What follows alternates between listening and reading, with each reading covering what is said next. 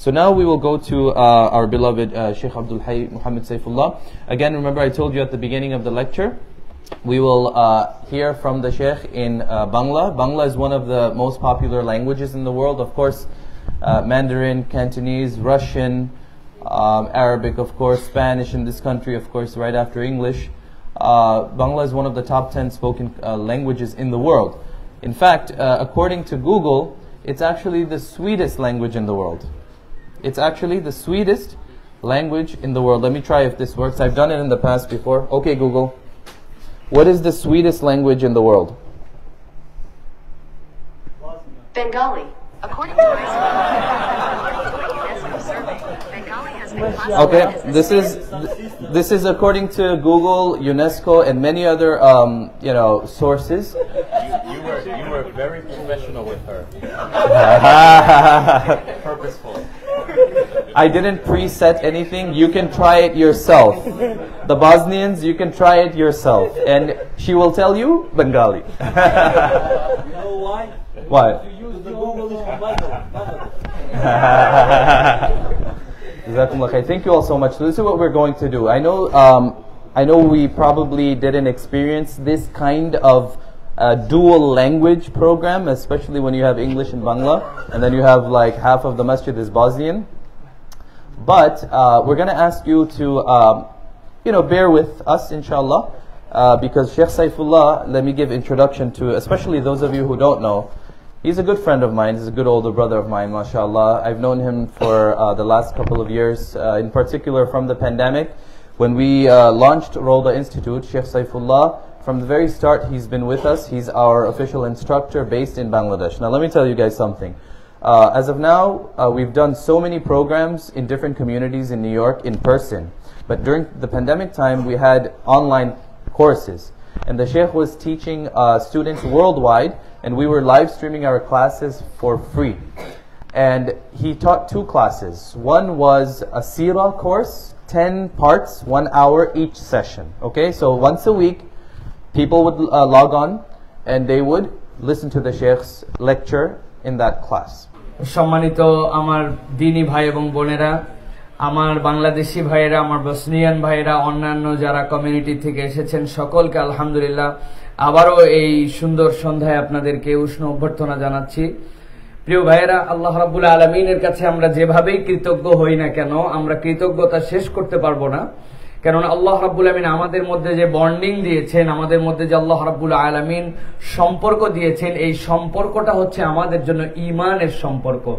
দুনিয়ার সবচেয়ে পিওর এবং সবচেয়ে ভালোবাসার সম্পর্কের নাম হচ্ছে ইমানের সম্পর্ক। এবং এই ইমানের সম্পর্কের কারণে আল্লাহ রাব্বুল আলমিন রসুল্লাহ সাল্লাহ আলি ওয়াসাল্লাম আপনার আমার জন্য এই বার্তা দিয়েছেন যে আমরা যেন পুরো দুনিয়ার মানুষ একটা প্রাচীরের মতো আমরা যখন কোনো একটা প্রাচীরের কোনো একটা অংশে আঘাত পাবে তখন পুরো পৃথিবীর ইমানের দাবিতে এই ভাইদের মনে কষ্ট লাগে, এই জন্যই ইমানের এই দাবিটা আমাদের কাছে সবচেয়ে দামি। আল্লাহ রাব্বুল আলমিনের কাছে সবচেয়ে বেশি প্রিয় সম্পর্ক হচ্ছে এই ইমানদারদের সম্পর্ক। আমাদের আমাদের বাঙালি যারা আছেন, আমাদের আপনারা একটু হাতটা উঁচু করেন তো আপনারা কারা কারা আছেন? আলহামদুলিল্লাহ। বেঙ্গলি, আলহামদুলিল্লাহ। আপনারা হাত নামান এবার আমাদের বসনিয়ান যারা আছেন আলহামদুলিল্লাহ। রেজ ইউর হ্যান্ড প্লিজ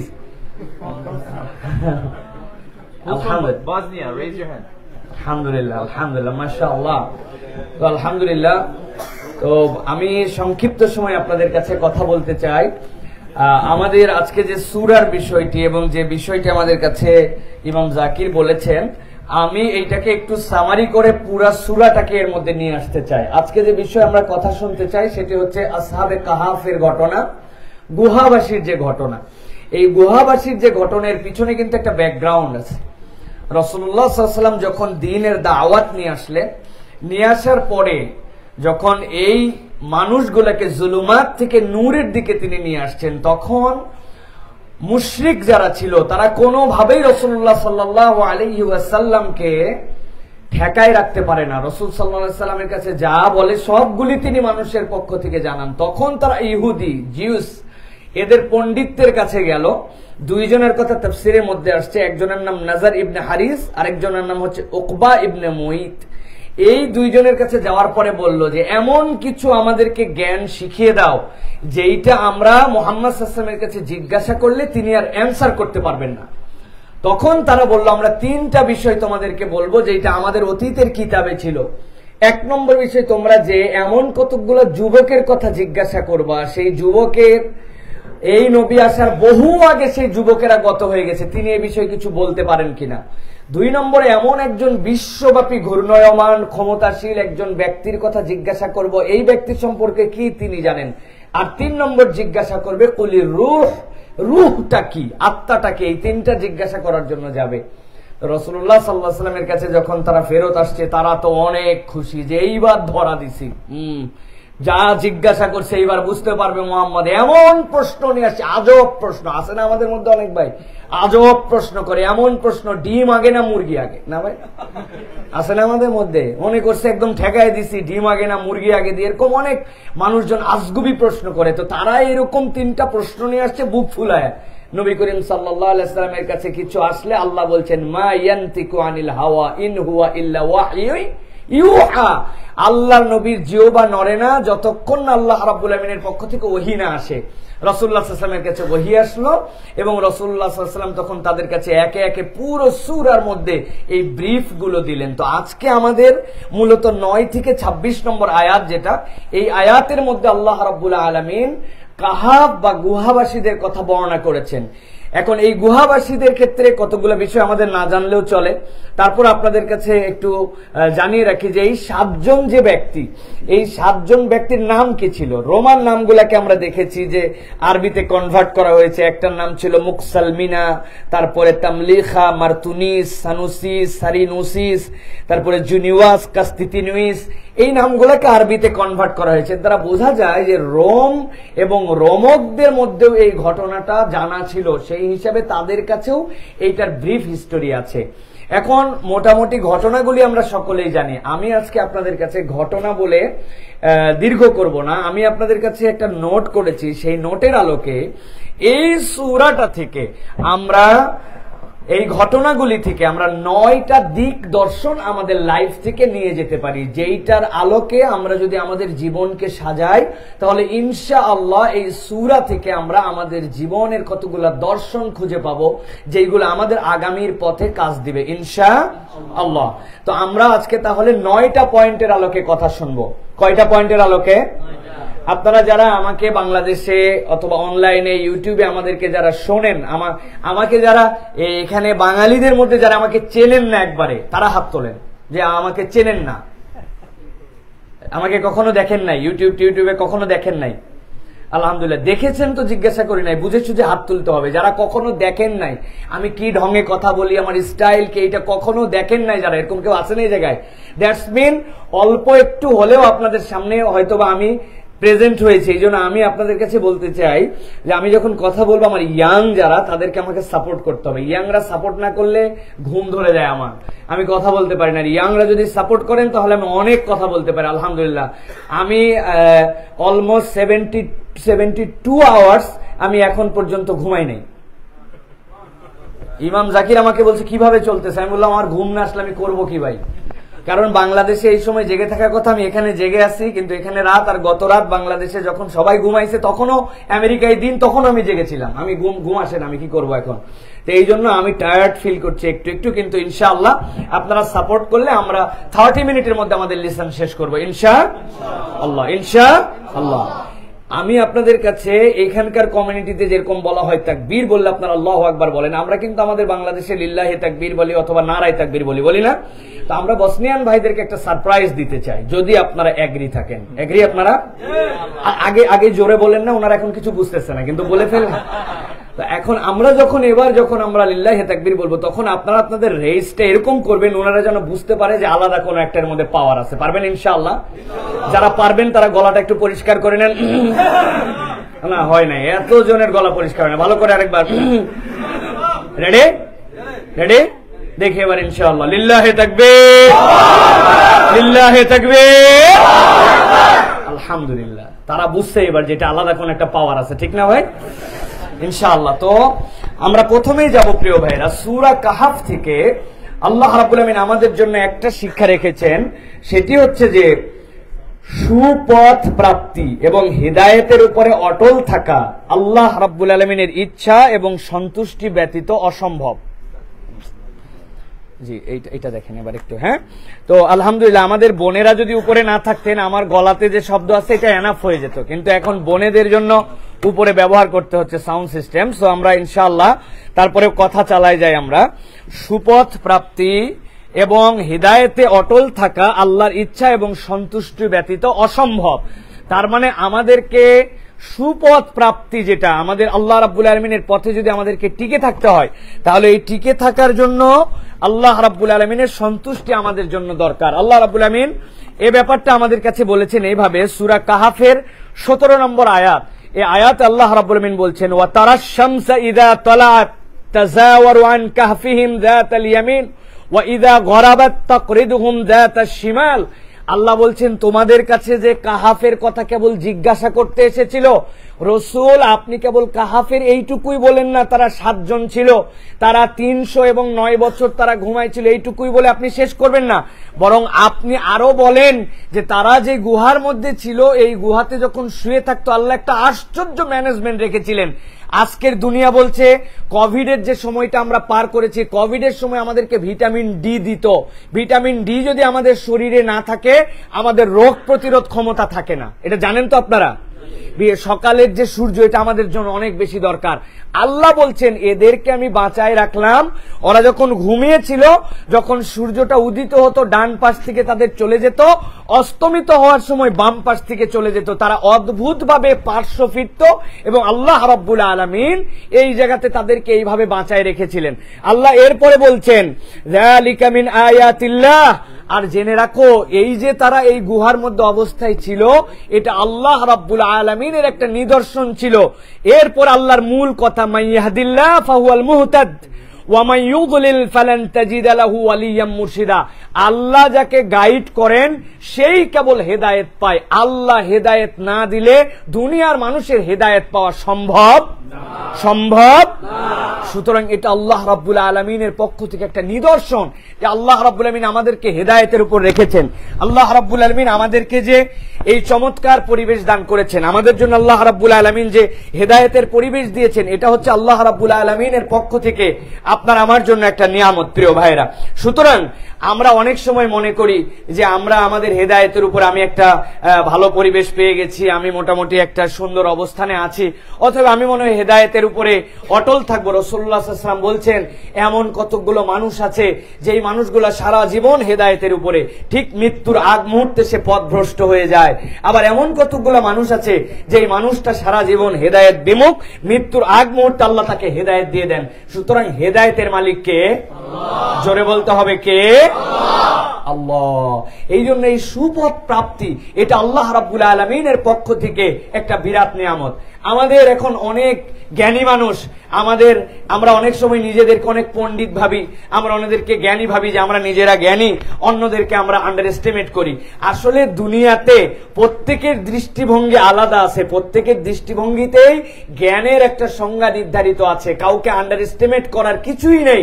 কেননা, কোনো একটা মানুষ দিন পালন করে, কোনো একটা মানুষ ইসলাম পছন্দ করে, কোনো একটা মানুষ হয়তো আল্লাহ রাব্বুল আলমিনের দিনের বিধানকে পছন্দ করে। ওই মানুষটাকে আপনার একটু বোকা বোকা লাগতে পারে যে এই মানুষ এই সময়ের এই আধুনিক যুগের মধ্যে এত বড় বেয়ার তার এই মানুষ এত বড় একটা জামা কাপড় পরে আছে, এই মানুষ নামাজের সময় হলেই দুনিয়ার দোকানদারি টোকানদারি সব বন্ধ করে এক পাশ করে সে মসজিদের মধ্যে চলে আসছে।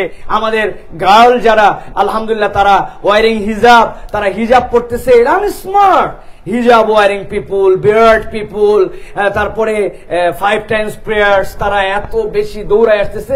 দে অল আর আনস্মার্ট এই এই দুনিয়ার জন্য তারা আনস্মার্ট কিন্তু স্মার্ট এবং আনস্মার্ট হিদায়ত এবং গায়রে হিদায়ত এইটা দুনিয়ার কোনো বিবেচনায় বিভাজিত নয়। আল্লাহ রাব্বুল আলমিন যাকে হেদায়ত দেন, দুনিয়ার সবচেয়ে সৌভাগ্যশীল মানুষ তারা। আল্লাহ বলছেন এই জন্য দয়ালিকামিন আয়াতিল্লাহ। এটা আল্লাহ রাব্বুল আলমিন একটা নিদর্শন। সুতরাং হেদায়েত আল্লাহ রাব্বুল কাছে চাইতে হয়, আল্লাহ রাব্বুল আলমিনের কাছে দোয়া করতে হয় আল্লাহ সাব্বিত কলবি আলা দিনিক আল্লাহ নৌবির কলবি বি নূরি মারিফাতিক। এটা আল্লাহর কাছ থেকে চাইতে হয়। সাব্বিত কলব, হে আল্লাহ, আপনি আমাকে দিনের প্রতি অটল রাখেন।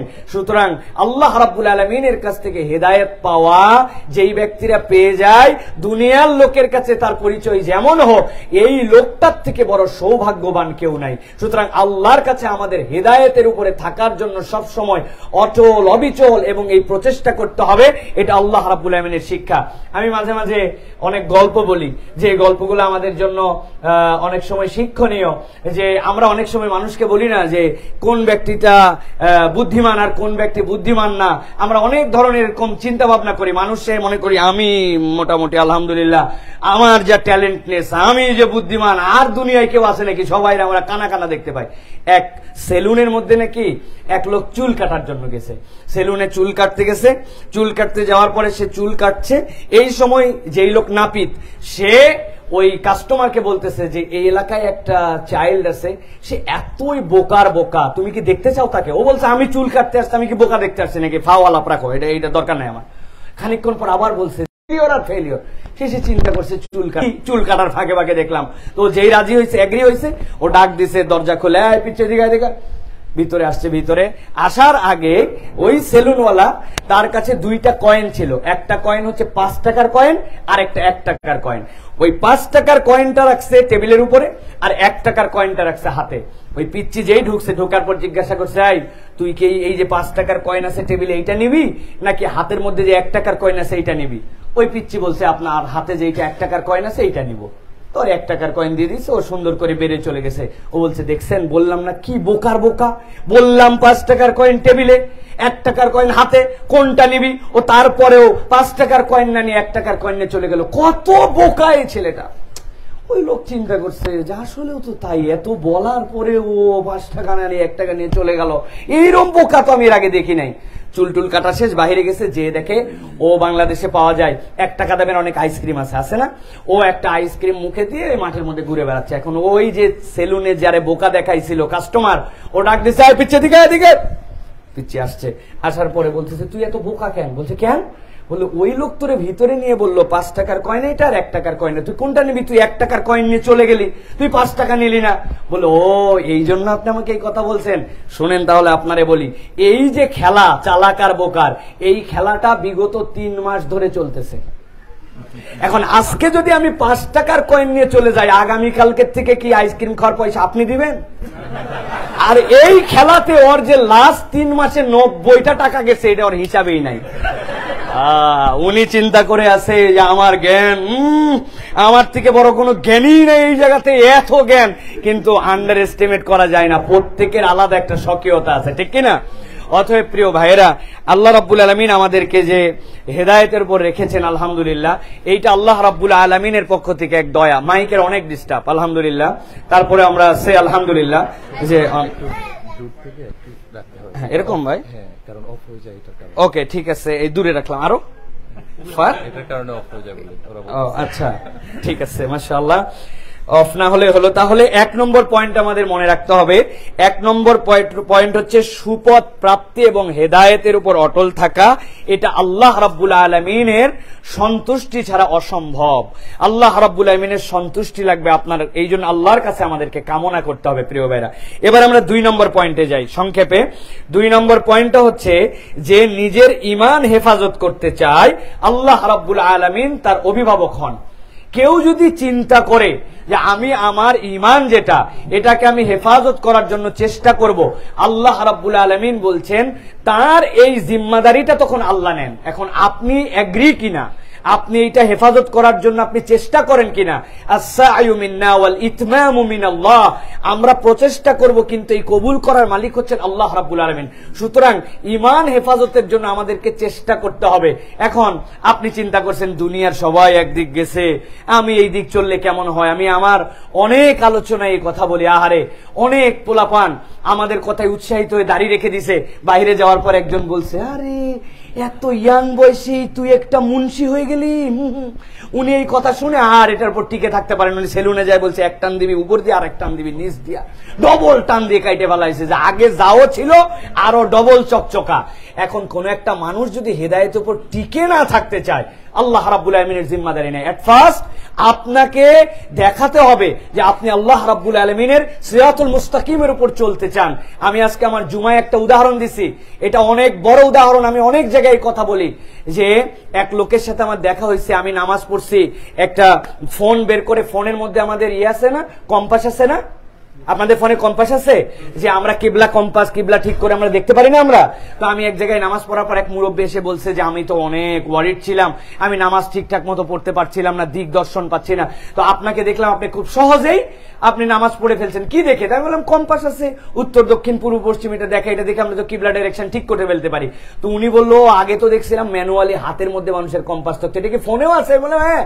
বলল, প্লিজ আমাকে যদি আপনি একটু কম্পাসটা উঠায় দেন, তাহলে আমার জন্য খুব সুবিধা হয়। আমিও বিভিন্ন জায়গায় নামাজ পড়ি, আমি নামাজটা পড়তে পারব সহজে। তো আমি বললাম যে, এটা তো আলহামদুলিল্লাহ, আমার জন্য একটা বিরাট বড় সব হবে। আর দাল্লু আলাল খাইরি কাফা ইলিহি কেউ যদি কল্যাণের রাস্তা দেখায়, তাহলে তার সব পাবে।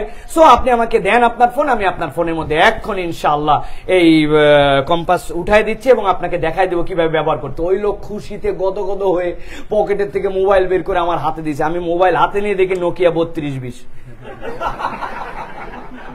কি সেট ভাই? Button mobile. আপনি বলেন, এই বাটন মোবাইলে কম্পাস উঠবে?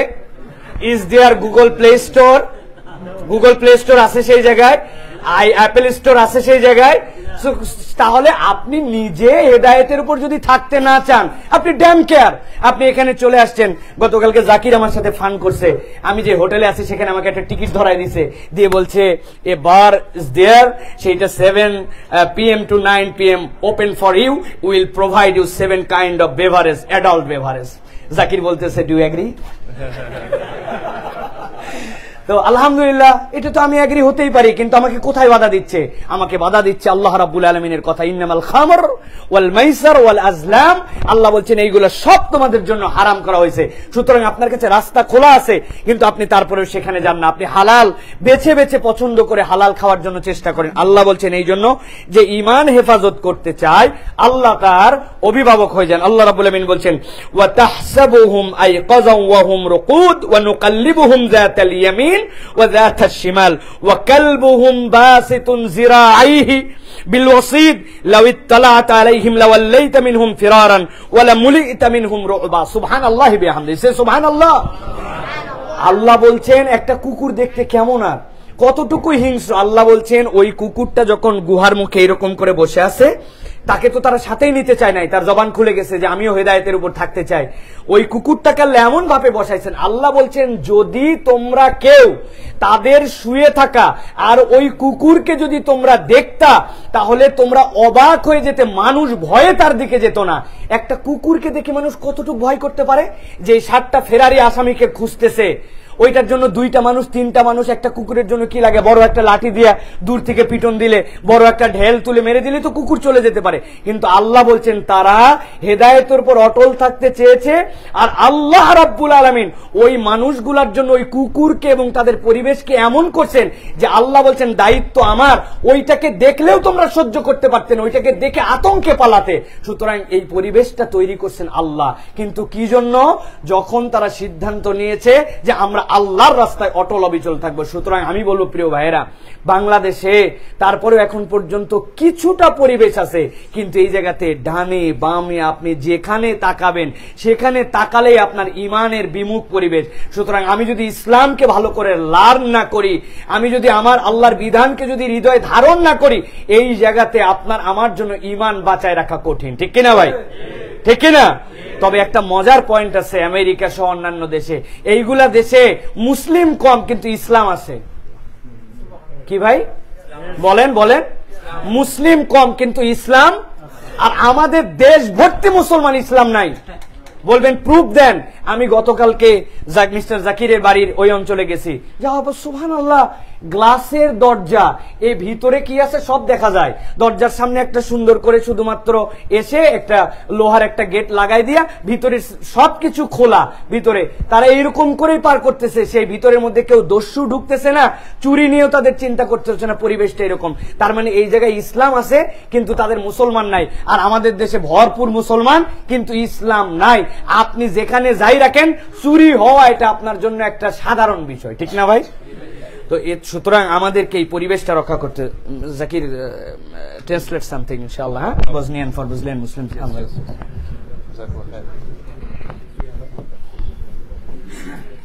Uh. Thank Yes. you, uh. This point yes Yes, so um, just translating uh, very briefly what the said. Uh, so basically, uh, eight point, no? Eight point, yeah. Okay, so the group of young people, they were accompanied by which animal? By a Dog. Dog. So this dog actually was a source of protection for these young people. Uh, Allah subhanahu wa ta'ala used this dog to deter people to see what's happening inside or you know perhaps they were just you know probably up to no good and Allah protected these young people as a result and this is an important lesson the Sheikh is saying that you know in America it's especially important for us to make sure that uh, we are mindful who we associate ourselves with and to make sure that uh, we are always on guard of our faith and our iman. One thing the Sheikh said, which is very, very um, intriguing, is that he saw Islam, or he, it's just been a day and a half, two days here, but he says there's a lot of Islam in America, but few Muslims. And he said from his native country that there are so many Muslims, but unfortunately not, is, not enough Islam. Did you think about that? It's quite profound, yeah? Mm-hmm. And he mentioned an example where, where he's currently staying at, how there are homes with the doors open, unlocked, here in New York, believe it or not. And people are not afraid to, you know, leave their doors uh, open. But in, unfortunately, in many Muslim majority countries, unfortunately, uh, you leave your valuable and then you come back, you see it's not there. And he said this is something very important for us to keep in mind, uh, our identity as Muslims. And this is a very important lesson we learn from Surah Al-Kahf. আলহামদুলিল্লাহ আমরা তৃতীয় পয়েন্টে চলে যাব সংক্ষেপে আমরা বলবো ইনশাআল্লাহ তিন নম্বর পয়েন্ট হচ্ছে যে আমাদের আমাদের তিন নম্বর মেনশন যেটা সেটা হচ্ছে যে হেদায়েতের পথে যদি আমরা অবিচল থাকতে চাই, আল্লাহ রাব্বুল আলমিনের হেদায়তকে যদি আমরা ক্যারি করতে চাই, তাহলে আল্লাহর পক্ষ থেকে অন্যতম একটা শিক্ষা হচ্ছে হালাল খাবার। আমরা অনেক সময় মোত্তাকি হওয়ার চেষ্টা করি, আমরা নামাজ সুন্দর করে করি, কিন্তু আমরা আমাদের হালাল খাবার আমরা খাই না। হালাল খাবার থেকে আমরা নিজেরা মনে করি এটা অত গুরুত্বপূর্ণ বিষয় নয়। অথচ আল্লাহ রাব্বুল আলামিন বলছেন, ফাবআসু আহাদাকুম বিওয়ারিকিকুম হাদিহি ইলাল মদিনা ফালিয়ানজুর আইয়ুহা আসকা তুআমান ফালিয়াতিকুম বিরিজকিম মিন ওয়ালিয়াতালাফফ ওয়ালা ইউশিরান্না বিকুম আহাদা। তাদেরকে যখন তারা জাগ্রত হলো, হওয়ার পরে তাদের পক্ষ থেকে একজনকে পাঠালো। এই পাঠানোর সময় তারা কি বলেছিল? যাও, আমরা অনেক ক্ষুধার্ত, যেরকম একটা খাবার পাও, কোন একটা খাবার ম্যানেজ করে নিয়ে আসো তো ভাই, আমাদের যান বাঁচানো লাগবে। আল্লাহ বলছেন, এরকম কথা তারা বলে নাই।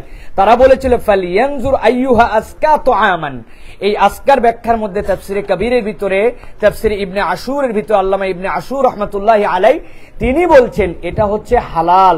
ওই মানুষগুলা যে হেদায়েতে অবিচল ছিল, এটার অন্যতম একটা গুরুত্বপূর্ণ পার্ট ছিল যে তারা হালাল খাবার খেতেন। প্রিয় ভাইরা আমাদের মধ্যে কিন্তু হালাল এবং হারামের এই বিভেদটা উঠে গেছে। আমরা হারামকে এখন মনে করছি এটা সহজলভ্য হয়ে গেছে। হারাম খাওয়া মানে এরকম না যে শুয়োরের গোস্ত খাওয়াই কেবল হারাম না, আমাদের অনেক দিকের হারাম আছে আমাদের সমাজের মধ্যে।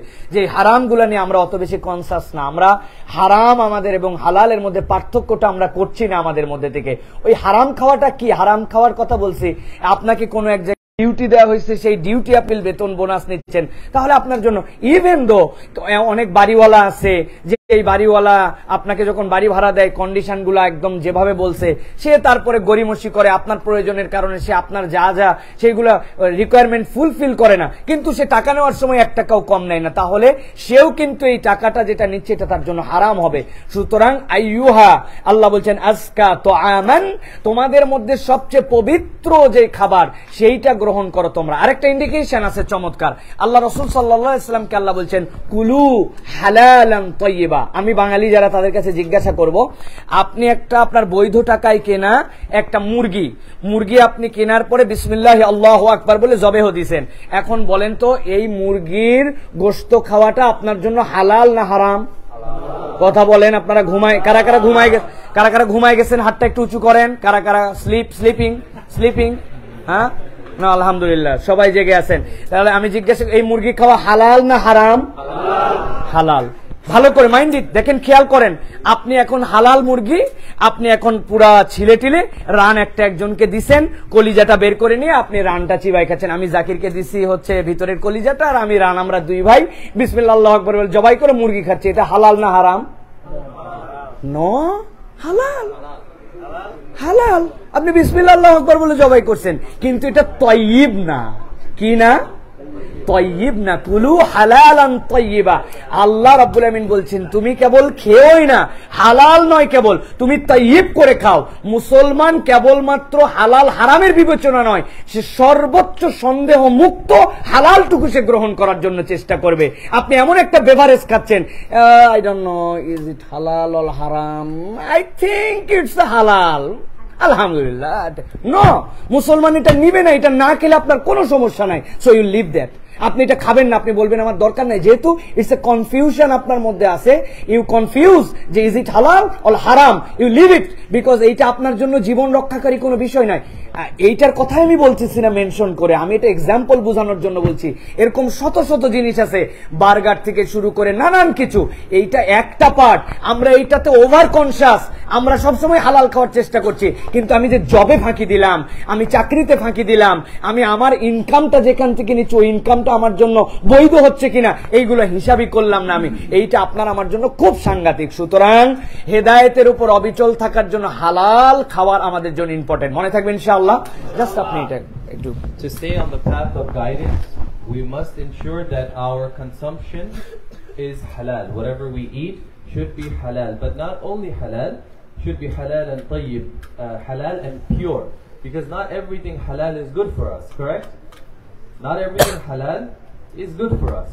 So we should be mindful what we eat and drink should be from pure source, right? The meat and the beverages and the different kind of food and produce you consume should be from pure sources. Because in order to stay on the path of uh, guidance, food and intake has a profound impact. Sheikh also mentioned this is not only limited to food but also your work, your earning. So for example, you are responsible for, you know, certain things, but if you uh, cheat in your work and if you do not do uh, what you are required to do, if you don't fulfill your responsibilities the way your employer has uh, assigned you, and then you take the full pay for that, that is also in a way you are not eating or earning fully halal. You understand what I'm saying?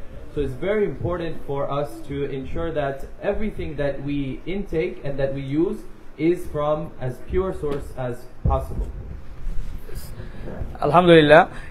এরপরে আমরা যে পয়েন্টে যাব, চার নম্বর যেটা, সেটা হচ্ছে দুনিয়ার স্বার্থ ত্যাগ করে, দিনের জন্য হিজরত করাও এবং ইমানকে গোপন করার প্রসঙ্গ এটা।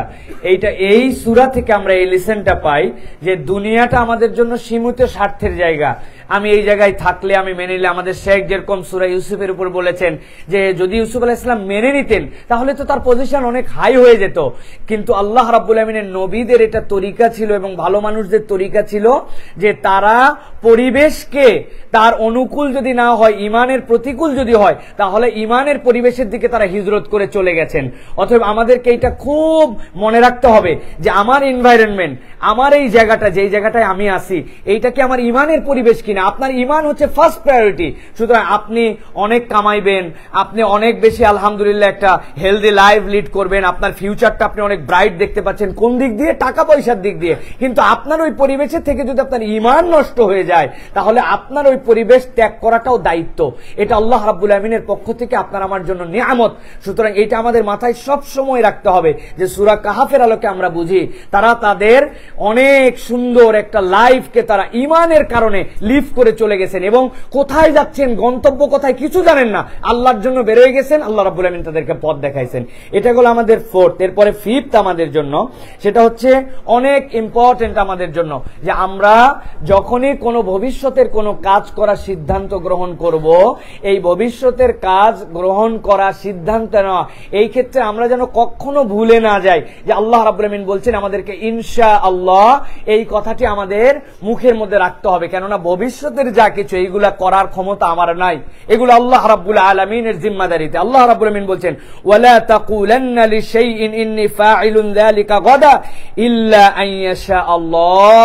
আমি যেন কখনো বলে ফেলি না যে আমি আগামী কালকে করে ফেলব। বলে দিব রসুল্লাহ সাল্লাল্লাহু আলাইহি ওয়াসাল্লাম, আল্লাহ রব্বুল আলামিন। মুহাম্মদ রহমাতুল্লিল আলামিন। আল্লাহ রব্বুল আলামিন যে আলমের জন্য রব, মুহাম্মদ সাল্লাম ওই আলমের জন্য রহমত। এই ব্যক্তি পর্যন্ত তার কাছে এসে জিজ্ঞাসা করছে, নবীজি বলছেন, আগামীকালকে তোমাদেরকে জানাই দেব। ইনশাআল্লাহ বলেন নাই। ওহি আশা বন্ধ হয়ে গেছে। ওহি আশাকে আল্লাহ থামাই দিয়েছেন। সুতরাং ইমানদারের জীবনে যখনই আমরা কোনো সিদ্ধান্ত গ্রহণ করব, ভবিষ্যৎবাসক কিছু বলব, তখন আমাদের ইনশা আল্লাহ যেন আমাদের জিকিরের মধ্যে সামিল হয়। যখন কোনো বান্দা ইনশা আল্লাহ বলে, আল্লাহ রাবুল মিন তার সাথে এটাকে সম্পৃক্ত করে দেন। আল্লাহ নুসরত তার সাথে যুক্ত হয়ে যায়। আলহামদুলিল্লাহ। সুতরাং আমরা এইটা বলার জন্য চেষ্টা করব ইনশাআল্লাহ। এরপরে নাম্বার সিক্স আমরা যে পয়েন্টে যাব ইনশাআল্লাহ। সেটি হচ্ছে যে মনে না থাকা, ভুলে যাওয়া এবং অন্তরের রোগ আমাদের প্রত্যেকের জীবনে আছে। আমরা ভুলে যাই, আমাদের মনের মধ্যে নাই, আমাদের স্মরণের মধ্যে থাকে না। এখন আমরা আমাদের স্মরণ শক্তি বৃদ্ধি করতে চাই। আমরা আল্লাহ রাব্বুল আলমিনের দেওয়া বিধিবিধান আমাদের যেন স্মরণের মধ্যে থাকে। এই স্মরণ মানে এরকম না যে মেমোরাইজ করে রাখা। এই স্মরণ মানে যখন যেটা লাগবে, আল্লাহ রাব্বুল আলমিন যেন তখন সেটা আমার জীবনে স্মরণ করায় দেন। আল্লাহর ভয় যখন লাগবে, কোন একটা লেডির দিকে আমি তাকাবো তখনই যেন আল্লাহ আমার এটা স্মরণ করাই দেন, আমার চোখের তো একটা পর্দা আছে। আমি গান গান শোনার জন্য আমার মন চাচ্ছে যে আমি একটুখানি কিছু একটু শুনি, শুনলে আমি একটু ভালো লাগবে। আপনার জন্য আল্লাহ তখনই হেদায়তের জন্য আপনার ওপেন করে দেন, আপনার অন্তরের স্মরণটা জাগ্রত করে দেন যে, ন, আমি তো এইটা শুনতে পারি না। কেননা মানব জীবনের জন্য আল্লাহ বলছেন ইন্নাসাম আওয়াল বাসর ওয়াল ফুয়াদ। প্রত্যেক মানুষের এই কানটা হচ্ছে আপনার ইনপুট ডিভাইস ভালো করে। এই পয়েন্টটা সারা জীবন আপনাকে মনে রাখতে হবে, সারা জীবন। আমি একটা উদাহরণ দিয়ে দিব, যাতে করে আপনাদের এই পয়েন্টটা মনে থাকে। দেখেন একটা কম্পিউটার, এই কম্পিউটারের তিনটা অংশ থাকে। একটা হচ্ছে ইনপুট একটা হচ্ছে প্রসেসর আর একটা হচ্ছে আউটপুট ইনপুট কোনটা? আপনার যে কিবোর্ড এটা ইনপুট আপনার ডাটা দিয়ে যেটা ঢুকাচ্ছেন, এটা ইনপুট আরেকটা হচ্ছে আপনার জন্য প্রসেসর ভিতরে একটা প্রসেস হয়। আপনি two plus two equal to এই জায়গায় ফোর আসতেছে। তার মানে এর ভিতরে একটা প্রসেসর আছে, যেটা আপনি চাপ দিলে প্রসেস করে বের করতেছে। কোথায় বের করতেছে? মনিটরে এই মনিটরটা হচ্ছে আপনার জন্য আউটপুট আপনার প্রিন্টারটা হচ্ছে আপনার জন্য আউটপুট মানুষের জন্য আল্লাহ বলছেন ইন্নাসামা ওয়াল বাসারা ওয়াল ফুয়াদ। মানুষের জন্য তিনটা ইনপুট ডিভাইস আছে। একটা হচ্ছে তার লিসনিং পাওয়ার আরেকটা আরেকটা হচ্ছে তার এই যে চোখ দিয়ে দেখার ক্ষমতা, আরেকটা হচ্ছে তার জন্য অনুভূতির জায়গা। নাইনটি ফাইভ পার্সেন্ট মানুষের ইনপুট হয় মানুষের কান দিয়ে। মানুষ শোনে, শিখে। মানুষ শুনে সবচেয়ে বেশি শেখে। আপনাদের কাছে একটা এক্সাম্পল দেই। আপনারা বাইক চালাইছেন বা বাইক আপনারা কি দিয়ে চলে জানেন আপনারা? আমেরিকায় বাইক চলে পানি দিয়ে, তাই তো? কি দিয়ে চলে মোটরসাইকেল ভাই? হ্যাঁ কি কোন তেল দিয়ে? নাইনটি ফাইভ গ্যাস লাগে আপনার জন্য অকটেন লাগে আপনার জন্য, পেট্রোল লাগে, ঠিক কিনা? এখন আপনি অনেকদিন বাইক চালাতে চালাতে হঠাৎ করে মনে হয়েছে বাইক তো ঠিকই চলে। আরে রাত পেট্রোল, বহু পেট্রোলে চলাইছে, আজকে কেরোসিন বাড়িতে আছে, একটু কেরোসিন দিয়ে চালাই। চলবে তো না? চলবে, অল্প একটু চলবে।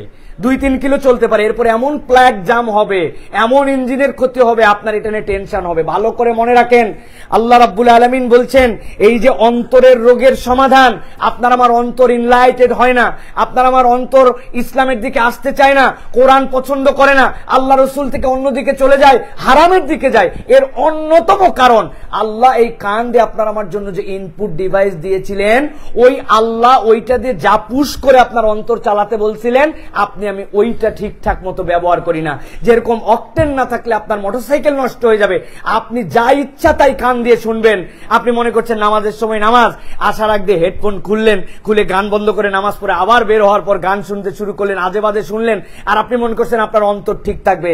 ইম্পসিবল আল্লাহ আমিন বলছেন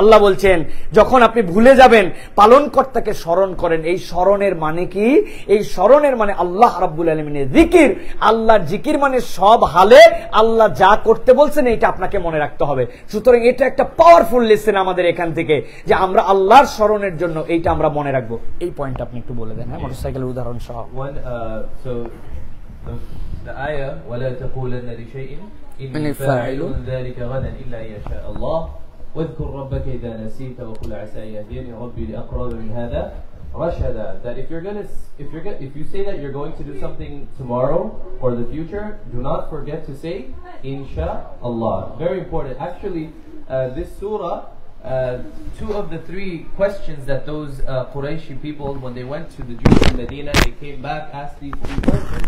The Prophet ﷺ, uh, said that, come back to me tomorrow. I will have the answer tomorrow, but he forgot to say, Inshallah. Inshallah. Tomorrow came, no Jibreel, no Quran, no answer. Like this, two weeks passed. And finally, after much waiting and anticipating, Allah subhanahu wa ta'ala answered those three questions. Of course, the third question about the soul, there is no answer, only Allah subhanahu wa ta'ala knows. The Shaykh was commenting on this verse, with If you forget, remember your Lord. In every situation, in every aspect of our life, we are to remember Allah subhanahu wa ta'ala. Sheikh, Shaykh gave a very example, uh, nice example about um, input, processor, and output, right? You probably understood those English words. Uh, he was giving an example about uh, a motorcycle. So, for example, in order to uh, ride and use the motorcycle, you need gas, you need fuel, correct? And then once you have fuel, uh, there's a you know mechanism within the bike, the motorcycle, that allows you to ride it. Without any proper gas or fuel, you will not be able to ride this motorcycle. Uh, if you take the wrong kind of gas, if you take kerosene or something else, Water. or water, for example, like any other liquid, you won't be able to ride the bike. It won't be able to uh, perform in the way that it's designed to. Just like that, he said Allah subhanahu wa ta'ala created us all with a particular processor. So you have to make sure that what you input, the fuel, the gas that we're supposed to take in is the remembrance of Allah subhanahu wa ta'ala. So you might be having uh, the latest, you know, headphones blasting music and it's time to pray you come to pray and then you go out and you put those headphones back on. You're not going to be able to function just like how you put water in a motorcycle. You cannot expect to stay on the path of iman and hidayah and islam. So it's very important. We are designed for the remembrance of allah all throughout our lives in every aspect আলহামদুলিল্লাহ, আমাদের আর তিনটা point আছে। একটা সহজ point হচ্ছে, কেয়ামতের দিনে পুনরুত্থান খুব সহজ। আল্লাহ রাবুল আমিন এই যে গুহাবাসী, তাদেরকে কত বছর ঘুমায় রেখেছিলেন? তিনশো নয় বছর থ্রি হান্ড্রেড নাইন ইয়ার্স তারা শুয়েছিল, কিন্তু তারা যখন উঠল, তাকে তাদের কাছে কি মনে হয়েছিল? এক সকাল অথবা এক বিকাল আমরা ঘুমাইছি। আল্লাহ রাব্বুল বলছেন আল্লাহ বলছেন 300 এবং আরও 9 বছর তারা। কিন্তু উঠার পরে তাদের কাছে মনে হয়েছে যে, ও, এখনও তো ফুলফিল হয়নি আমাদের ঘুম, কিন্তু এত ক্ষুধা লেগে গেছে, বাজারে একজন যাও তো। আল্লাহ বলছেন, তারা জানে না। তো যেই রব একটা মানুষকে সোয়াই দিয়ে তিনশো নয় বছর ঘুমায় রাখতে পারেন, সেই আল্লাহর কাছে, তো আমাদেরকে মৃত থেকে পুনরুত্থান করে এটা কোনো বিষয়ই না। আল্লাহ রাব্বুল আমিন আমাদেরকে ইচ্ছা মতো তুলতে পারেন। সুতরাং কেয়ামতের এই আলামতটাও আছে। দ্বিতীয় আরেকটা ইন্ডিকেশন আছে, সেটা হচ্ছে তিনশো নয় বছর শুয়ে থাকল তাদের কিছুই হলো না। কিছুই হয় নাই কিন্তু তারা একদম ওই রকমই ছিল তাদেরকে আল্লাহ রাবুল আমিন তুলে দিলেন তাদেরকে। সুতরাং এই সংরক্ষণ করার ক্ষমতাও আল্লাহ রাখেন, এইটাকে তোলার ক্ষমতাও আল্লাহ রাব্বুল আলামিন রাখেন। সুতরাং কেয়ামতের ব্যাপারে যারা সংশয়বাদী, তাদের কাছে এখানে অ্যান্সার আছে। আল্লাহ রাব্বুল আমিন তাদেরকে এইভাবে পুনরুজ্জীবিত ঘুম থেকে জাগিয়ে তুলেছেন। আট নম্বর পয়েন্ট যেটা, সেটা হচ্ছে যে দুনিয়া এবং আখেরাতের কল্যাণ যদি আমরা পেতে চাই, তাহলে প্রিয় বান্দাদের সহবতে থাকা এবং আল্লাহর স্মরণে থাকা জরুরি। এটা সবচেয়ে আজকের দিনে গুরুত্বপূর্ণ পয়েন্ট আলহামদুলিল্লাহ, সবচেয়ে গুরুত্বপূর্ণ পয়েন্ট আজকের দুনিয়াতে সবচেয়ে কঠিন রসুল্লাহ আসলামের একটা হাদিস। নবী করিম সাল্লাহ আলাইহি ওয়াসাল্লাম বলছেন, দুনিয়ার মানুষ, তুমি কাকে বন্ধু বানাচ্ছ এটা স্মরণে রাখো। মাইয়ুখালিল রসুল্লাহাম বলছেন মাই ইউখালিল, ইয়াউমা ইয়াদ্দু যালিমু আলা ইয়াদাইহি। কিয়ামতের দিনে একদল জালেম তারা তাদের হাতে এরকম করে কামড় দিবে। কামড় দিয়ে হাতগুলা কেটে ফেলে দিবে। কি জন্য?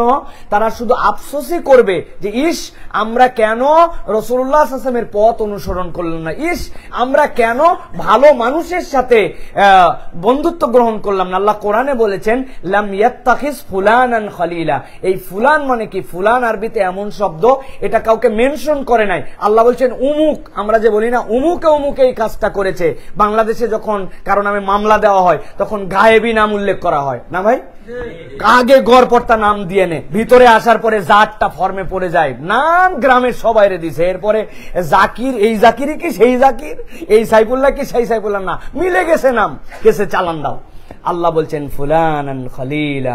তেয়ামতের দিনে ফুলান হিসাবে আল্লাহ রাবুল বলছেন, ওই দিন বলবি আমি যদি তারে বন্ধু না বানাইতাম। এই বন্ধুটা কে ভাই? আমি তো অনেকক্ষণ কথা বলছি, আপনারা উত্তর দেন। এই বন্ধুটা কে? লাম ইয়াত্তাখিজ ফুলানান খলিলা। কে এই বন্ধু? এই বন্ধু আপনি, আমি। আমরা সবসময় মানুষের দিকে চোখ চোখ তাকাই। আপনি একটু চিন্তা করেন, আমি কি এরকম পারফেক্ট একটা বন্ধু হতে পেরেছি, যেই বন্ধুর কারণে অপর বন্ধু হেদায়তের রাস্তায় আসবে, যেই বন্ধুত্বের কারণে অপর মানুষ ইসলামে আসবে? আপনার, আমার আচরণে ওই বন্ধুকে দেখে বন্ধু তো আপনার, আমার জন্য মার এইটা হচ্ছে সে আমার জন্য হচ্ছে আয়না। তো ওই আয়নার মধ্যে কি আমি আমার প্রতিচ্ছবি দেখতে পাই? আমরা তো কেউ কারও ব্যাপারে কিছু বললে আমরা শুধু উমুক তুমুক বলে আমাদের চোখ চলে যায়। আমরাই সেই বন্ধু হতে পারি নাই। আল্লাহ রাব্বুল আলমিন বলছেন, এটা খুবই গুরুত্বপূর্ণ। ওয়াসবির নাফসাকা মা আল্লাযীনা ইয়াদউনা রাব্বাহুম বিল গাদাতি ওয়াল আশি ইউরিদুনা ওয়াজহাহু ওয়ালা তা'দু আইনাকা আনহুম তুরিদু জিনাতাল হায়াতিদ দুনিয়া ওয়ালা তুতি' মান আগফালনা قلبه عن ذكرنا واتبع هواه وكان أمره فرطا. আল্লাহ রাব্বুল আলমিন এই জায়গায় চমৎকার ভাবে বলছেন, আল্লাহ বলছেন, যারা জীবনের সৌন্দর্য কেবল কামনা করে, হে রসুল, আপনার জন্য এটা একটা দিক নির্দেশনা দেওয়া হলো। এই যে পার্থিব জীবন আর এই জীবনের সৌন্দর্য, এদের থেকে আল্লাহর সন্তুষ্টি অর্জনের উদ্দেশ্য যদি আহ্বান করে, আপনি তাদের থেকে চোখ ফিরাই নেবেন না। কিন্তু আল্লাহ রাব্বুল আলমিন বলছেন, যার মনকে আমার স্মরণ গাফেল করে দিয়েছে আকফাল না সে গাফেল হয়ে গেছে। তার কাছে দুনিয়ার চাকচিক্য এমন যে এই দুনিয়া দুনিয়া দুনিয়া, সে আল্লাহর হুকুমের মধ্যেও সমস্যা দেখতে পায়। আছে না ভাই? কথা বলেন, আছে কিনা? অনেকে আছে আমাদের মধ্যে আল্লাহর হুকুমের সমস্যা দেখতে পাই আমি একটা হুকুমের সমস্যার এক্সাম্পল দেয় আপনাদের কাছে। আমাদের দেশে বিয়ে হয়। বিয়ের মধ্যে ফরজ কয়টা? বিয়ের মধ্যে ফরজ হচ্ছে ইজাবার কবুল। আর অনেকে বলছেন যে দেনমোহর দেওয়া এটাও ফরজ। আর উজুব কি আছে এর মধ্যে সাক্ষী রাখতে হবে। আর একটা আউলিম ওয়ালাউ বিশাতিন। নবীজি বলছেন, একটা অলিমা করো, যদি তোমার সামর্থ্য কুলে একটা ছাগল দিয়ে বিয়ে শেষ। কিন্তু বাংলাদেশের বিয়েতে কি হয়? দুই দিন, আড়াই দিন আগের থেকে ডিস্ট্রি ডিস্ট্রি ডিস্ট্রি ডিস্ট্রি ডিস্ট্রি ডিস্ট্রি হ্যাঁ? আছে আছে? এরপরে হলুদ আছে না ভাই? মেহেন্দি আছে না ভাই? এরপরে একটা কমিউনিটি সেন্টারে যাবে। যাওয়ার পরে এভরিওয়ান চিজি এক মহিলা, সেই মহিলার সাজায় বসছে, জিজ্ঞাসা করছে, "এই তুই সেলফি তুলতেছিস তুই কে রে? বলে, আমি এলাকা তো, পাড়া তো, দেশা তো, মামা তো, ভাই। আছে না ভাই? আ, ভাবির সাথে চিজ চিজ করে ভাবির সাথে একজন এসে বলছে, আই তো you can not do that music haram.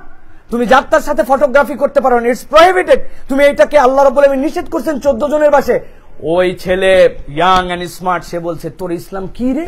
একটু একদিন আনন্দ করব জীবনে কি মানুষের প্রত্যেকদিন বিয়ে হয় নাকি একদিন? তাও বলে গান শোনা যাবে না, হলুদ করা যাবে না, মেহেন্দি করা যাবে না, ছবি তোলা যাবে না। রাখ তোর ইসলাম। পাশের থেকে কতকগুলো আছে তার সাথে হই হই দেওয়া। ওরা বলছে, ঠিকই বলছিস। এক্স্যাক্টলি ইউ আর রাইট আসলে ইসলামটা এরকম কেন? কিছুই করা যাবে না। এই যে আপনি বলতেছেন এইটা, আপনি এটার দ্বারা কি বুঝাচ্ছেন? আপনি এটার দ্বারা বুঝাচ্ছেন, আপনি ইসলামের বিধানের উপরে সন্তুষ্ট নন, আপনি আল্লাহ আলামিনের দিনের প্রতি হ্যাপি নন। আল্লাহ রাব্বুল বলছেন, এইটাই তোমাদের জন্য এই মানুষগুলা দিন থেকে ফেরত গেছে। ওরা দিনের বিধানে সমস্যা দেখে, আল্লাহর দিনের বিধানে কোনো সমস্যা নাই। সমস্যা হচ্ছে আপনার আমার চোখে আর অন্তরে। ঠিক কিনা? আমি উদাহরণ দেয় অনেক সময়। আমি আব্বার সাথে ঈদের জামাতে গেছিলাম। আমাদের বাংলাদেশে, আমাদের বসনিয়ান ভাইরা, জানি না তাদের কাছে এরকম কোন এক্সাম্পল আছে কিনা। ঈদের মাঠে আমাদের ওখানে বেলুন বিক্রি হয়, বাঁশি বিক্রি হয়, তারপরে বিভিন্ন ধরনের ঘূর্ণি বিক্রি হয়। দেখছেন আপনারা ভাই? ভুলে গেছেন আপনারা? এখানেও হয়। এখন বেলুনওয়ালা সারাদিন বেলুন কেমনে জানান দিবে তার বেলুন? সে বুদ্ধি করে বেলুনটা খুলে, ওর মধ্যে বাঁশিটা উল্টায় দিছে। দিয়ে বেলুনটা সামনে দিয়ে ফু দিছে সামনে বেলুনটা এত বড় হয়েছে। এরপরে হাতের মধ্যে ধরে আস্তে করে বাচ্চা কাচ্চা যেন ওই বেলুন কিনে যেন আস্তে করে ছাড়ে। প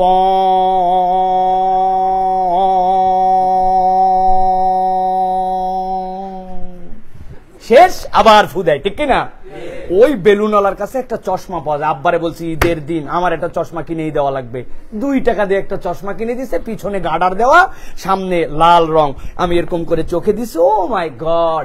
যেই না চোখে দিছি, দেখি sky is red my father is red my mother is red হ্যাঁ রাইস ইজ রেড বাড়িতে আসার পরে আমার তো রেডের এখন মজা চুটে গেছে। আম্মারে বলছে, আম্মা, আরেকটা চশমা। তোমার চোখে একটা চশমা আছে, আবার কয়টা চশমা লাগবে? না, আমার একটা দেওয়াই লাগবে। এবার আমি কিনছি একটা ইয়োলো। এইবার ইয়োলো চশমা যেই আমি চোখে দিচ্ছি yellow sunglass then I saw the sky is yellow my father is yellow my mother is yellow rice is yellow ভাই, আমি আপনাদের কাছে জিজ্ঞাসা করতে চাই, আপনারা একটাও মুখ বন্ধ রাখবেন না। বুঝে সুঝে উত্তর দেন, আমার বাবা কি লাল?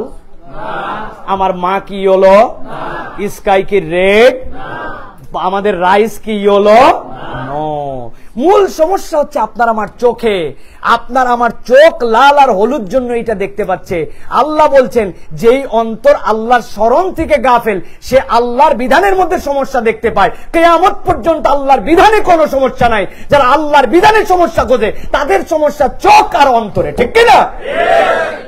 এটা আল্লাহ রাব্বুল আমিন বলছেন ওয়াসবির নাফসাকা মাআল্লাযীনা ইয়াদউনা রাব্বাহুম বিল গাদাতি ওয়াল আশি। অন্তরটা ঠিক থাকবে কেমন করে? যারা আল্লাহর স্মরণে সকাল সন্ধ্যা থাকে, তোমার সম্পর্ক হবে তাদের সাথে, আর আমার সম্পর্ক দুনিয়ার চোর বাটপারের সাথে। হ্যাঁ? দ্যাট মুসলিম এবং আমি সুন্দর করে দোয়া কুনুতের মধ্যে বলছি ইন্না নাস্তাইনুকা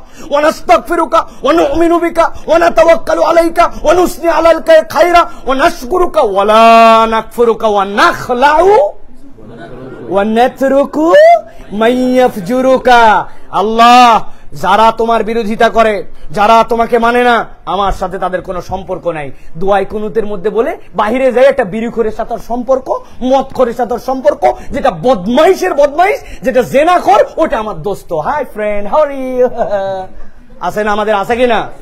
আমি কি কিছু বানায় বলতেছি ভাই? তো কোথায় কোথায়? আপনার শপথ আল্লাহর সাথে কোথায়? আপনি বলছেন আল্লাহ বলছেন, এই সম্পর্ক যদি তোমার রবের সাথে ঠিক রাখতে চাও, ওয়াসবির নাফসাকা মা আল্লাযীনা ইয়াদউনা রাব্বাহুম বিল গাদাতি ওয়াল আশি বান্দা, তুমি তোমার রবের সাথে সম্পর্ক ঠিক রাখতে চাইলে, আল্লাহ বলছেন, যারা সকাল সন্ধ্যা আল্লাহকে স্মরণ করে, বান্দা, তুমি তাদের সাথে সম্পর্ক রাখো। এই সম্পর্কের কারণে আল্লাহ রব্বুল আলামিন তোমার অন্তরটাকে দিনের উপরে রাখবেন। সুবহানাল্লাহ। সুতরাং আমাদের এইটা হচ্ছে অনেক বড় লিসেনিং এটা আমি জাকিরকে লাস্ট পয়েন্ট এরপরে একটা পয়েন্ট আছে এটা বলার জন্য অনুরোধ করব So Sheikh was mentioning again about uh, righteous company uh, and how certain people on the day of judgment, uh, the wrongdoers will be biting their hands, their fingers. Uh, on the day of judgment, they will, you know, chew their fingers away because of their regret over choosing the wrong company, the wrong friends in this world. And he said uh, from the verse, uh, Fulan and Khalila, why did I take such and such person as my friend? So he's saying a lot of times we're quick to point fingers and blame, like so and so is not a good person, uh, she's not a good friend, he's not a good friend. But he said before any of that, we should look at am I being a good friend? Am I a good companion? Am I showing people the right way to live their lives according to the guidance of Allah subhanahu wa ta'ala. You should have friends that remember Allah day and night. And he gave a really funny example when he was a child during Eid in uh, Bangladesh. They would uh, sell balloons and like you know like in for us in America, you know like New Year's Eve, there's like uh, different glasses and all these kind of you know funny uh, costumes and outfits. So like you know during Eid celebration, they would there would be different vendors selling these different kinds of toys for uh, for kids. So he said he asked his dad to give him a red pair to buy him a red a pair of red sunglasses. So he wore those and he looked at the sky. It was red. He looked at his dad. His dad was red. His mom was. Everything was red. And then he went home and he said, you know, mom, can I can I buy a yellow pair of glasses? She said, no, you already have one. He's like, no, mom, please, I want to buy a pair of yellow glasses. So they got him that, and he wore it. And then everything he sees is yellow.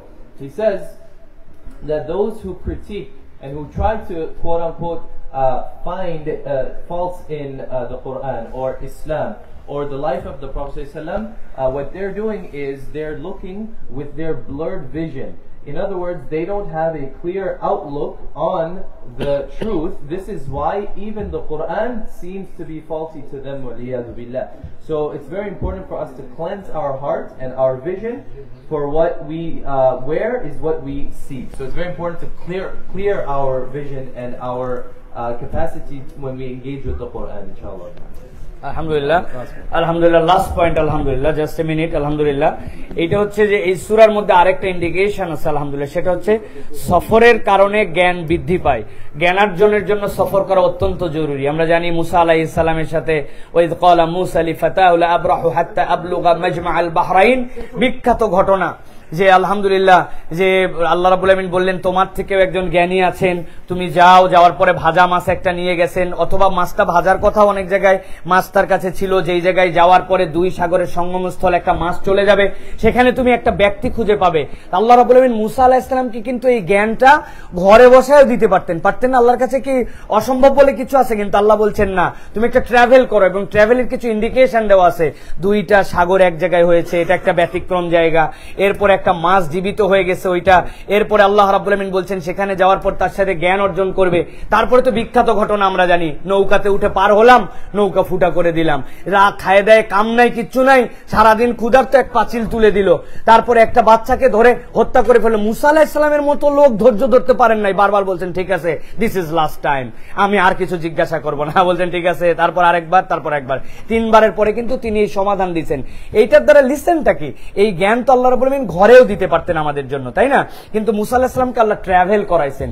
সুতরাং আমরা অনেক সময় না এক জায়গায় একদম জমে গেছি। জব ওয়ার্ক নামাজ ঘর জব কাজ, নামাজ ঘর, এই সার্কেল আমার জীবনটা মুরগির মতো হয়ে গেছে আমাদের অনেক সময়, ঠিক না ভাই? এইটা লাইফ নয়। আল্লাহ বলছেন, তুমি একটু ট্রাভেল করো। তুমি আল্লাহর দেওয়া সিরু ফিল আর্থ আল্লাহ বলছেন, তুমি এই পরিভ্রমণ করে। এই পরিভ্রমণ কিন্তু আমাদের অন্তরকে প্রসারিত করে, আমাদের দৃষ্টিভঙ্গিকে বদলায়। আমি সব মুসলমানের জন্যই যেটা বলি। সুবাহান আল্লাহ আজকে তো আলহামদুলিল্লাহ আমরা দুইটা আলাদা আলাদা জাতিগোষ্ঠীর মানুষ এখানে। কিন্তু আপনি যতক্ষণ পর্যন্ত খানায় কাবার জিয়ারতে না যাবেন, আপনি ইন্টারন্যাশনাল কনফারেন্স বলতে আপনি যদি কিছু মেনশন করেন, সেটা হচ্ছে হজ এবং ওমরা কত ভ্যারাইটিস মানুষ সেই জায়গায়। আলহামদুলিল্লাহ, ছোট, বড়, উঁচু, নিচু, কত মানুষ সুবান আল্লাহ মেমদি আল্লাহ রাবুল আমিন আমাকে অনেকবার এই হজে যাওয়ার তৌফিক দান করেছেন। এই জন্য আমি জানি, ওইখানে না গেলে ইমানদারদের কলিজাটা বড় হয় না। আমি একটা লাস্ট বলে শেষ করব। এটা জাস্ট ফানি থিং এটা আপনাদের মনে রাখার জন্য। আমি আমি যখন হজে গেছি, একবার আব্বা আমাকে শিখাই দিয়েছেন, খবরদার, কারোর সাথে ব্যাড বিহেভিয়ার করা যাবে না। বিগ তোমাকে মানে একদম যতটুক পারো তুমি সতর্ক হয়ে থাকবা, মানুষের খেদমত করার চেষ্টা করবা। এখন তাওয়াফ করছি তাওয়ার সময় দেখি কি এক লোক এসে খালি আমার এই জায়গায় ঘুতা মারে। ও ভাই, দুনিয়ার যে জায়গায় ঘুতা মারুক, বাঙালি মুখে ঘুতা সহ্য করতে পারে না। কি মিন্টু ভাই?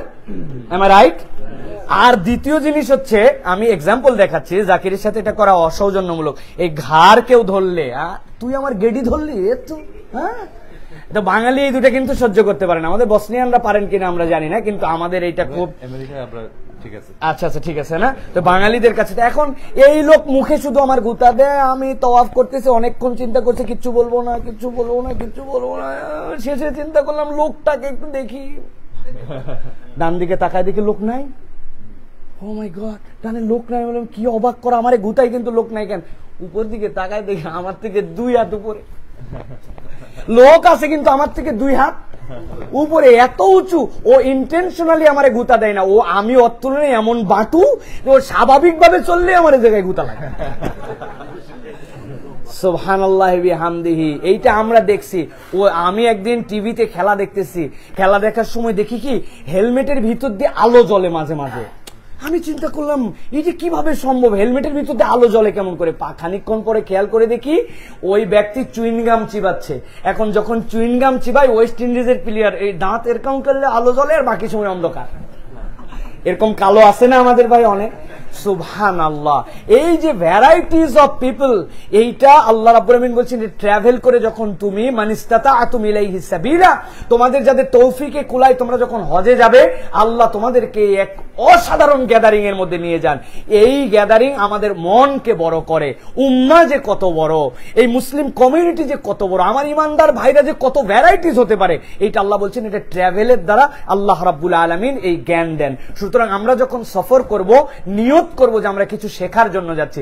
তাহলে এন্টারটেনমেন্টও হবে, আল্লাহ রাব্বুল আলমিনের পক্ষ থেকে জ্ঞানও পাবে। এই জন্য কিন্তু আমাদের যে স্কারশন বলা হয়, এই যে যেইগুলা আমরা যেটা পিকনিক বলি পিকনিক আসলে পরিভাষণ এটা স্কারশন এটা হচ্ছে আমাদের জন্য একটা শিক্ষা সফর। সুতরাং এই আল্লাহ রাব্বুল আলমিন এই সুরাত দ্বারা আমাদেরকে এইটাও শিক্ষা দান করেছেন। সুতরাং আমি আবার জাকির শেষে নয় নম্বর পয়েন্ট বলবেন, আমি সামারি করি আপনাদের জন্য। প্লিজ আপনারা সকলে হাতে একটু গোনার চেষ্টা করেন। এক নম্বর, সুপথ প্রাপ্ত এবং হেদায়েতের উপর অটল থাকা আল্লাহর ইচ্ছার উপর নির্ভরশীল। যে ব্যক্তি নিজের ইমান হেফাজত করতে চায়, আল্লাহ তার অভিভাবক হয়ে যান। তিন নম্বর আপনাদের কাছে বলেছি, হেদায়েত অবিচল এবং আল্লাহর হেফাজতে থাকতে চাইলে হালাল খাদ্য আমার পেটের মধ্যে ভক্ষণ করতে হবে। চার নম্বর, দুনিয়ার স্বার্থ ত্যাগ করে হিজরত করা অনেক সময় আমাদের জন্য গুরুত্বপূর্ণ। পাঁচ নম্বর, আল্লাহর উপর ভরসা এবং ভবিষ্যতের সকল কাজে আমরা কি বলব? আরেকবার বলেন কি বলব? আরেকবার লাউডলি বলেন কি বলব? ছয় নম্বর বলেছি, মনে না থাকা, ভুলে যাওয়া এবং অন্তরের রোগ সমাধান হচ্ছে আল্লাহ রাব্বুল আমিনের জিকিরের মধ্যে আমাদেরকে স্মরণ রাখা। চলতে, ফিরতে, উঠতে, বসতে, বাথরুমে ঢুকতে, বের হতে, সব কাজে আল্লাহ রাব্বুল আমিনের জিকিরের উপরে থাকা। সাত নম্বর বলেছি, কিয়ামতের দিন পুনরুত্থান করা আল্লাহর কাছে ডাজেন্ট মেটার তিনশো নয় বছর আল্লাহ সোয়া সকাল, সন্ধ্যা মনে হতে পারলে আল্লাহ রাব্বুল আমিন আমাদেরকে ইজিলি তুলে দিতে পারবেন এই এই, ওই দিবসে। আট নম্বর বলেছি, দুনিয়া আখেরাতে কল্যাণকর এবং হেদায়েতের উপর অটুট থাকার জন্য সহবত অত্যন্ত গুরুত্বপূর্ণ আমার ফ্রেন্ডকে আমার সার্কেলকে আমি কোন কমিউনিটিতে আছি এটা অত্যন্ত গুরুত্বপূর্ণ। সর্বশেষ বলেছি, জ্ঞান বৃদ্ধির জন্য সফর অত্যন্ত গুরুত্বপূর্ণ। এই পয়েন্টটা বলে আমি জাকিরকে শেষ করতে বলব। হাদামে ইনদি ওয়াল ইলমু ইনদাল্লাহ। আসসালামু আলাইকুম ওয়া towards the end when Allah talks about Musa alayhi salam traveling to seek knowledge. He said that you know in uh, in our lives these days we find that we are living like chickens, kind of. Uh, we have our house, we go to work, we come back. Home, you go to school, and you come back. He said it's so important to travel when you get the chance for the sake of learning uh, and refreshing your mind and your soul. It's very important for us, uh, as we learn from this surah, to go outside and traverse and uh, see the beautiful creation of Allah subhanahu wa ta'ala. So this was the final point, and of course, then he summarized all the nine points. Brothers and sisters, just five minutes of your time, inshallah. I know you've been waiting so patiently, and it takes quite a lot of patience to sit through 45 minutes of a language that is totally alien to you. So I want to thank all of the uh, the non-Bangla speakers here. Thank you all so much for sitting so patiently. May Allah bless bless you and count this on your scale of good deeds, inshallah ta'ala. But I'm sure you can sense and feel the passion in Sheikh Saifullah's speech. Actually, one of my friends, he's watching from Manhattan, he's from Saudi Arabia. He said, Man, the Sheikh is speaking so passionately, I wish I understood what he's saying. he just texted me. I said, MashaAllah And I'm sure all of you felt this. Um, you know, we watched Sheikh Saifullah on YouTube and on social media, but it's different in person. আমরা তো যথেষ্ট দেখেছি শেখকে অনলাইনে কিন্তু in person দেখা কিন্তু অনেক ডিফারেন্ট ঠিক না মানে ফিলিংটা is very different